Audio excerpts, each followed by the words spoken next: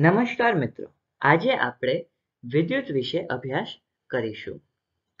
વિદ્યુતનું આધુનિક સમાજમાં મહત્વપૂર્ણ સ્થાન છે. તે ઘરો, શાળાઓ, હોસ્પિટલ તથા અન્ય સ્થળે વિવિધ ઉપયોગ માટે નિયંત્રિત કરી શકાય તેવી અને સુવિધાજનક ઉર્જાનું રૂપ છે. વિદ્યુત જોખીમભરી વીજળીઓથી લઈને અતિ આવશ્યક લાઇટ બલ્બ સુધીની બધી જ ઘટનાઓને સમજવા માટે ખૂબ જ જરૂરી છે. તો આજે આપણે શીખશું વિદ્યુત પ્રવાહ અને પરિપથ, વિદ્યુત સ્થિતિમાન અને વિદ્યુત સ્થિતિમાનનો તફાવત, પરિપથ આકૃતિ અને ઓહમનો નિયમ. સૌપ્રથમ આપણે સમજીશું વિદ્યુત પ્રવાહ અને પરિપથ. હવા અને પાણીના પ્રવાહથી તો તમે પરિચિત છો. તેવી જ રીતે વિદ્યુત ભારના પ્રવાહને વિદ્યુત પ્રવાહ કહેવાય છે. આપેલ આડછેડમાંથી એકમ સમયમાં વહેતા વિદ્યુત ભારના જથ્થાને વિદ્યુત પ્રવાહ તરીકે રજૂ કરાય છે. રહેવાજિક રીતે વિદ્યુત પરિપથમાં વિદ્યુત પ્રવાહની દિશા ઇલેક્ટ્રોન, જે ઋણ ભારત છે તેની ગતિની વિરુદ્ધ દિશામાં લેવામાં આવે છે. માટે આ તારની અંદર જો ઇલેક્ટ્રોનનો પ્રવાહ આ દિશામાં છે, તો વિદ્યુત પ્રવાહની દિશા આ દર્શાવીશું આપણે?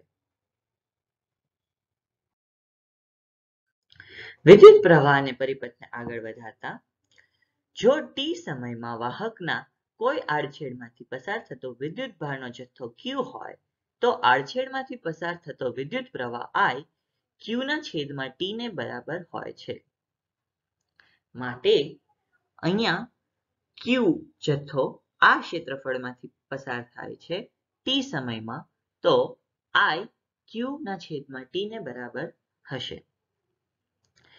ફ્રેન્ચ વૈજ્ઞાનિક અંદ્રે એમ્પિયરના નામ પરથી વિદ્યુત પ્રવાહનો એકમ એમ્પિયર રાખવામાં આવ્યો છે. ઘણીવાર એમ્પિયર ઘણું મોટું એકમ હોય છે, માટે નાના વિદ્યુત પ્રવાહને મિલી એમ્પિયર અથવા માઇક્રો એમ્પિયરમાં રજૂ કરવામાં આવે છે. અહીંયા આપણે એક ઉદાહરણ લેશું કે જો વિદ્યુત ભારનો જથ્થો ક્યુ દસ કુલંબને બરાબર સમય ટી બરાબર પાંચ સેકન્ડમાં આ ક્ષેત્રફળથી પસાર થાય છે. તો આઈ એટલે કે વિદ્યુત પ્રવાહ ક્યુના છેદમાં ટી એટલે કે દસના છેદમાં પાંચ એટલે કે બે એમ્પિયરને બરાબર હશે.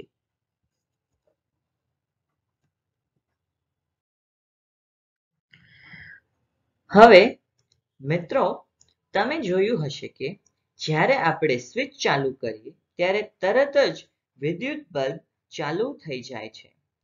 આનાથી આપણે એવું વિચારી શકીએ કે ઇલેક્ટ્રોન સ્વિચ દબાવતા જ એક ધ્રુવથી બીજા ધ્રુવ સુધી પહોંચી જતું હોય હશે. પરંતુ હકીકતમાં એવું નથી હોતું. ઇલેક્ટ્રોનની ગતિ એટલે કે ઇલેક્ટ્રોનનો ડ્રિફ્ટ વેગ વાસ્તવમાં વન મિલીમીટર પર સેકન્ડ જેટલો સૂક્ષ્મ હોય છે. તો હવે તમને એવું પ્રશ્ન, એવો પ્રશ્ન થશે કે તો પછી બલ્બ સ્વિચ ચાલુ કરતા જ તરત કેવી રીતે ચાલુ થઈ જાય છે? તો આના માટે આપણે તારમાં રહેલા ઇલેક્ટ્રોનને અહીં ઉભેલા વ્યક્તિઓથી સરખાવીએ.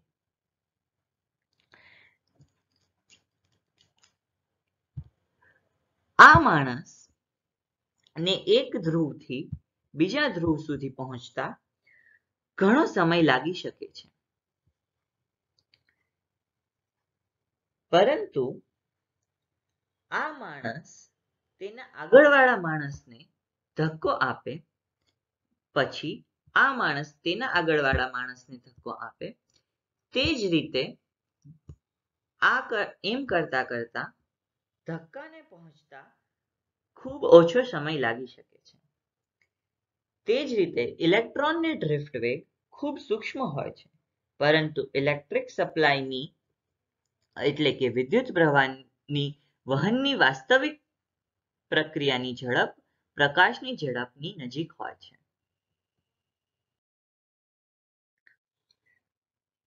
હવે વિદ્યુત સ્થિતિમાન અને વિદ્યુત સ્થિતિમાનનો તફાવત ભણીશું. પાણીના પ્રવાહ માટે જે ભૂમિકા ગુરુત્વાકર્ષણ ભજવે છે, ગુરુત્વાકર્ષણ બળ ભજવે છે, તે જ ભૂમિકા વિદ્યુત સ્થિતિમાનનો તફાવત ઇલેક્ટ્રોનના પ્રવાહ માટે ભજવે છે. એટલે કે પાણીનો પ્રવાહ ઉપરથી નીચે સુધી હોય છે, તે ગુરુત્વાકર્ષણ બળને લીધે હોય છે, તે જ રીતે વિદ્યુત પ્રવાહનો વિદ્યુત પ્રવાહમાં ઇલેક્ટ્રોનનો પ્રવાહ જે છે તે વિદ્યુત સ્થિતિમાનના તફાવતને લીધે હોય છે.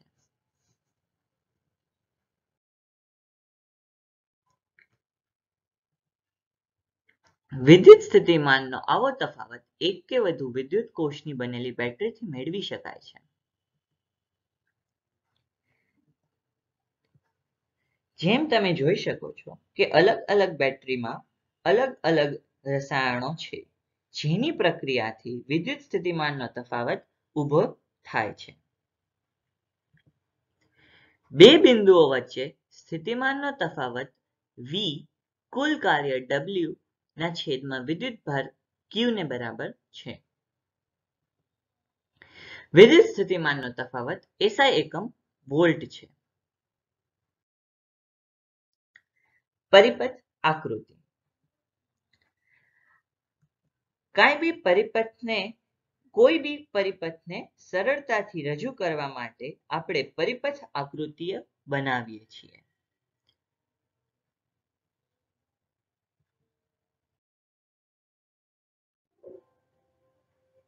હવે આપણે ઓહમનો નિયમ શીખીશું.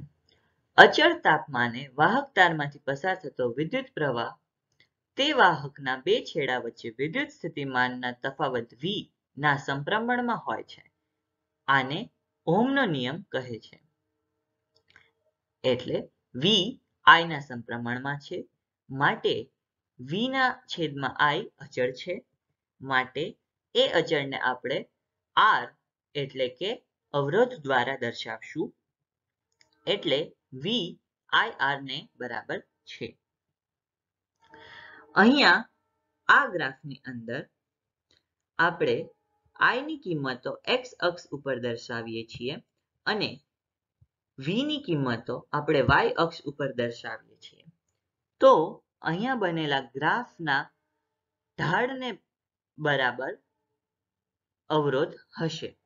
એટલે આ ગ્રાફની અંદર જે છે તે આ દસ ને બરાબર છે, આ બે ને બરાબર છે. માટે અવરોધ આર દસ ના છેદમાં બે એટલે કે પાંચ ઓહમને બરાબર છે.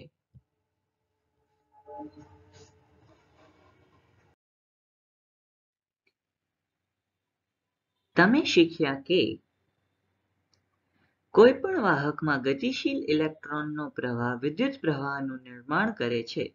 રહેવાજિક રીતે વિદ્યુત પ્રવાહની દિશા ઇલેક્ટ્રોનની ગતિની વિરુદ્ધ દિશામાં લેવામાં આવે છે.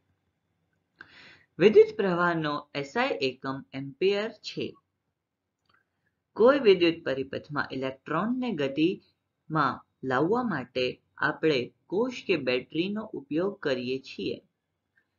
વિદ્યુત કોષ તેના બે છેડા વચ્ચે વિદ્યુત સ્થિતિમાનનો તફાવત ઉત્પન્ન કરે છે. તેને વોલ્ટમાં માપવામાં આવે છે. અવરોધ એવો ગુણધર્મ છે જે કોઈ પણ વાહકમાં ઇલેક્ટ્રોનના પ્રવાહને અવરોધે છે.